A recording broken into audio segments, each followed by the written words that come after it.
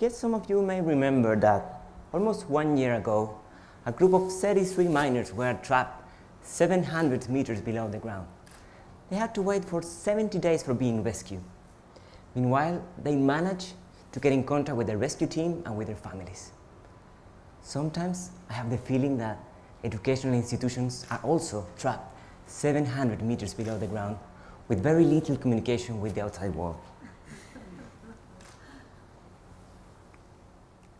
Today, I would like to discuss, to share with you some thoughts about how certain institutions are embedding the technology in the classrooms.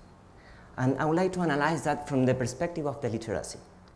To do that, I'm going to provide three basic statements, and I'll be inspired in these ideas of Marshall McLuhan, who said that we drive into the future only using our rear view mirror.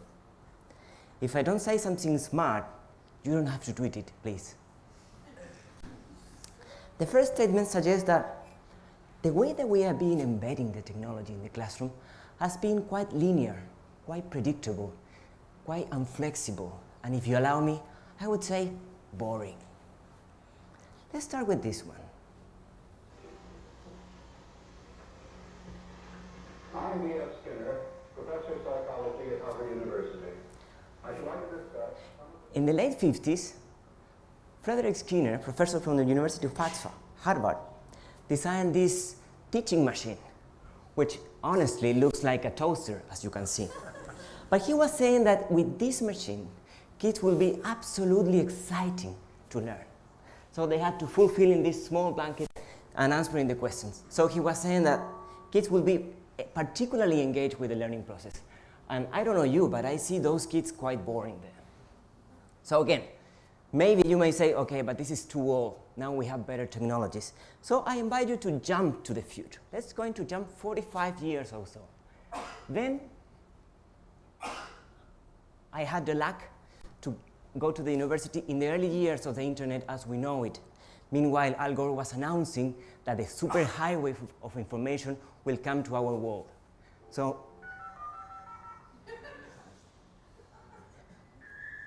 Do you still remember that noise? Wasn't it terrible? The bad news is the way that we were using technologies was also so quite boring. I know it's true, the search engines were slow, the websites are quite, they were quite plain and gray, but also the way that teachers were teaching the education was always predictable, fulfilling the blanks and do it using the technologies in a quite predictable way.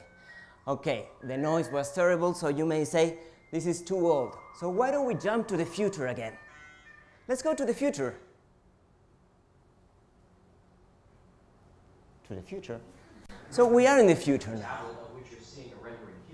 Right. So we are in the future now.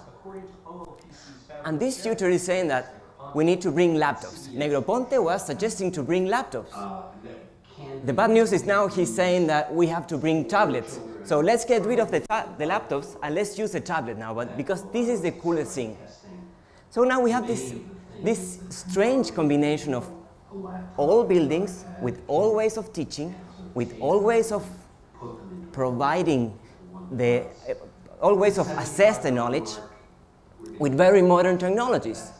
This is a sort of postmodern school, I would say. But to be honest, we don't have to kill the messenger.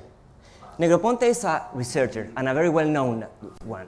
But the thing is, the problem is if we think just only bringing, Negro, bringing laptops in the classroom, the magic will happen. Yes.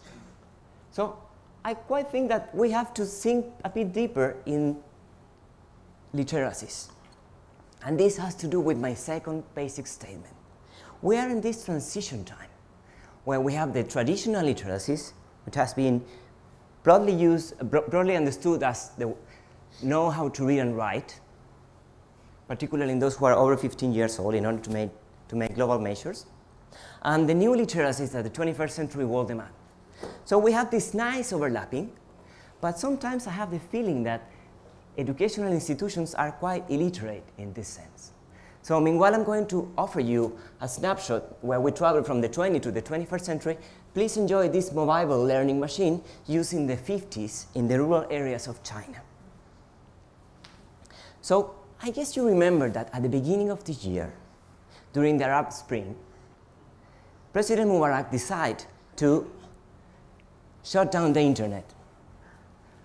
And it was a massive concern because it was affecting the democracy and it was a, a major problem not only for Egypt but for many other countries. I have the feeling that sometimes we have President Mubaraks in many classrooms in the world who are suggesting to block the internet because that could be dangerous for the kids. Certain information could empower them in a nasty way.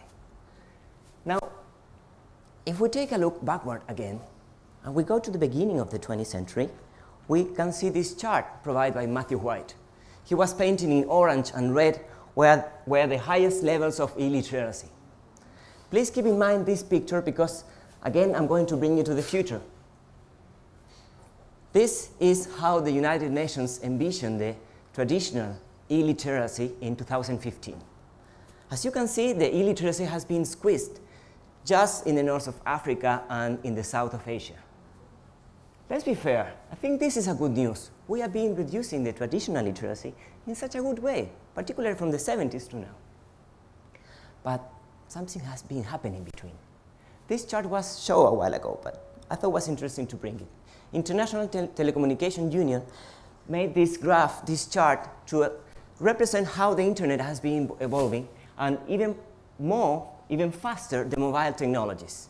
So obviously, the eruption of these new devices demand us to develop new literacies. So for a long while, I would say since the mid of the 90s to now, we have been discussing this so-called digital divide. And we are, we, we are still way ahead of where, we should be. Only two every seven human beings have access to the internet. But the bad news is this is not the only problem that we have. There are other problems that we have to care.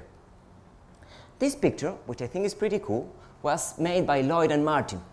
And these guys decided to map geotag in the world where articles were generated to publish on Wikipedia. More than 400,000 articles. And you can see that those articles are basically created in certain areas of the world. My friend Mark Graham from the Oxford Internet Institute identified that 84% of the articles published in Wikipedia are coming from the US and the EU. And even more, there are more articles about Antarctica than articles of a particular country in South America or Africa. Isn't it amazing? This is the other massive literacy that we have to care for. So there are certain gaps. Well, there are a lot of gaps, actually, but I would like to focus on just a few of them. Gaps in the literacy to know how to create valuable content. Certain gaps that we have to fulfill in terms of how we can better understand the translation of knowledge, and particularly how can we foster the sharing of knowledge. So let me stop here for a second. We know that it's quite important to understand the, the value, and was very well explained a minute ago by Mario, the need to create and recreate and combine and recombine useful pieces of knowledge. What is the problem that sometimes our educators are quite concerned that the kids or even the students from the higher uh, education institutions are using the Wikipedia and other contents on, online that are maybe not as good as they would like to. It's quite difficult to change the world where we're living on. And it's quite evident as well that science has been always evolving in this way. So instead of Instead of less, we, what we need is less copyright and more right to copy. This is one of the literacies that we need to embed, I guess. The second one has to do with this capability to translate knowledge. Now, in the translation of knowledge, there are many ways to understand it, but I, I feel quite comfortable with uh, Paulo Freire's idea from the late 60s when he was saying that we have to get rid of this student as a recipient of content, and we have to move forward to understand the student as a connector, a person that is able to connect different knowledge and to translate those knowledge to different contexts, but also to different, different formats, right? Not only from analog to digital, but for different people and rebuilding those knowledge based on this literacy and the previous one that I previously mentioned. And also, the value of sharing. Technologies are allowing us to share the contents in a cheaper way and in a faster way. So we have this whole list of what we can call the smart internet, right? Kant was giving an explanation quite well now. But there's this whole internet. What is the problem that I see? That our educators, many of them, are quite concerned that someone can steal their PowerPoints because they're super useful. And our learning platforms are all protected by many passwords with many capitals and fonts weird because are concerned that someone can steal these learning contents, which I think is affecting this possibility to share, which is something that we know that can push and foster creativity. So there's no magic clue here. There's no recipe to follow. But I, I'm going to suggest a third and last statement. This statement suggests that we have to find a triangle, a triology, let's say. We need the contents, of course that we need the contents.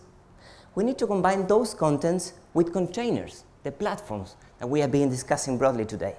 Okay, that part is super relevant, but this is a technical innovation. This is one bit of the effort that we have to make. We have the other part, which is the context, and I think has to do with social innovation. We call it invisible learning. You may call it as you want. The problem is not the name. The problem is sometimes the discussion is so focused in their part. So what I'm going to share with you is an experience that we thought, and I thought that could be inspiring, at least was inspiring, inspiring for us, and is embracing this idea of understanding the learning in a 360 degrees. In the slums, also known, known as favelas of Rio de Janeiro, in the 1995, a group of entrepreneurs decided to build this so-called Committee for Democracy in Information Technology. And they had an amazing idea. They decided to use the technologies as an excuse to help kids who were under social risk. But not only kids, phys physically and, and mental disabled people, former prisoners, and indigenous people. And what I'm going to show you now are some of the flavors that we took from that experience, and I really think that formal education institutions, doesn't matter the level, may learn few things from them. The first one has to do with this idea that they understood the real value of create bridges between the formal education and the informal education. How to do that? Well, the way that they see it is creating IT projects that are meaningful and relevant for their communities. So for example, here what they do is they take all pieces of technology and they rebuild them and create new softwares and new hardwares. So it's not just a recycled program, but also is fostering the creativity and innovation. This is one thing. The other thing that I saw was interesting from them is they understood the value of create experimental communities. Experimental communities where they highlight the value of trial error, trial error continuously, problem-based learning, and this idea of take the classroom outside, bring the classroom outside the wall. Because that allows al allow them to combine very, very different disciplines. And the other flavor that I saw in that experience, which I thought, I thought was interesting to share with you, is this idea that has been broadly discussed today, the peer-based learning. So as Sugata Mitra suggests, it doesn't really matter if the IT teacher, teacher is not great, because we can foster this micro-transference that we have daily. Micro-transference between your colleagues, between your partners, between your brothers. Micro, because it's not something very formal, could be particularly tacit based on observation, right? And I felt that that could be something to keep in mind. So less relevance to the educator and more relevance to the sharing of knowledge. That is something that also has been quietly discussed today. And the, the final aspect that I'm really I'm really excited with it, and I still believe that higher education is quite behind that, is this idea of the lifelong learning.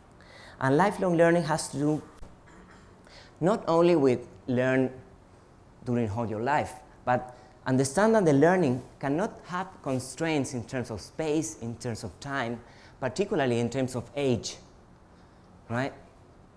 Now, this has to do, of course, with this idea of do it yourself, but also I think, recovered this idea suggested by John Moravec that rather than only focus on what we learn, let's focus on how we learn.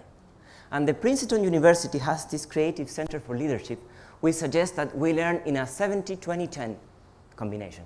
What is that? They suggest that we learn 70% based on experience or our work, 20% based on what we learn from our partners, our colleagues, our mates, and 10% based on formal education. I think it's interesting that these data are coming from a really well-known institution. So rather than the number, I would like to keep you, uh, share with you this, at least a trend that we have to consider. So let me be clear. I'm not against technology. Actually, I'm really happy that the United Nations only 44 days ago published that the access to human right, access to internet has to be a human right. Um, I think this is an outstanding news. But after that, we have been investing this massive interest in the technologies. I think it's time to bring back this basic question, which is how can we provide this right, this access to an education that is able to answer the challenge of our times, that is able to foster the development of new literacies, that is able to foster development of those skills which are relevant for this knowledge-based society.